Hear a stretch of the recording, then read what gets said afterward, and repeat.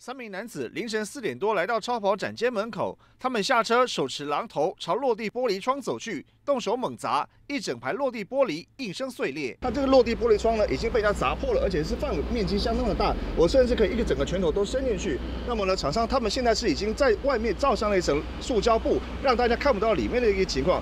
仔细看，三名男子，其中身材较瘦的两人戴着口罩，另外身形较胖的黑衣男子没有戴口罩。他们砸破玻璃之后，驾驶白色国产车离开，还刻意在路口绕了一圈，让监视器拍下他们反方向离去的画面，似乎想误导警方的查气。榔头是一般的榔头，那大概都敲了三四下，那总共有七片的玻璃遭受毁损。业者凌晨发现玻璃被打破，赶紧报警。为了遮蔽破洞，还用黑色塑胶布盖住，并刻意停两排跑车。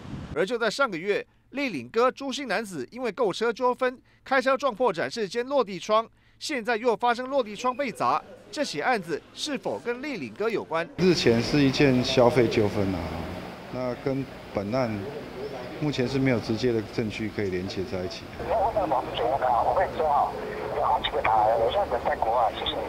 立领哥虽然被限制住居，但如果事前向检方报准，还是能够出国。